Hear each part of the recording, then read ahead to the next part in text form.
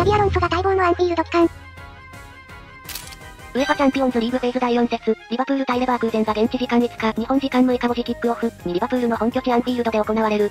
シャビ、アロンソは現役時代を過ごした思い出の地に対戦相手として凱旋を果たした。アロンソお帰り、何これかっこよすぎるだろ。この男が我々のユニフォームを着てプレイするのを見るのは楽しかった。ここでは多くの人がアロンソとプレイしていた日々を思い出して涙を流している。戻ってきてくれて嬉しいですアロンソ。一度レッドになったら、ずっとレッド。シャビ、アンフィールドへようこそ。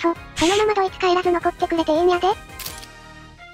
お帰りなさいアロンソ戦うには最高のタイミング、最高の舞台だね。普通に楽しみな試合すぎる。そして彼は夜の終わりまでに敗北するだろう恨みはないハグ。お帰りなさい。優しくしてね。彼は伝説だ。それは否定できない彼と彼の仲間たちが今夜叩きのめされることを願うよ。さて、見てみましょう。試合終了時に彼が笑っているかどうか。明日が待ちきれません。アンフィールドが彼にふさわしい歓迎と帰国の歓迎を与えてくれることを願っています。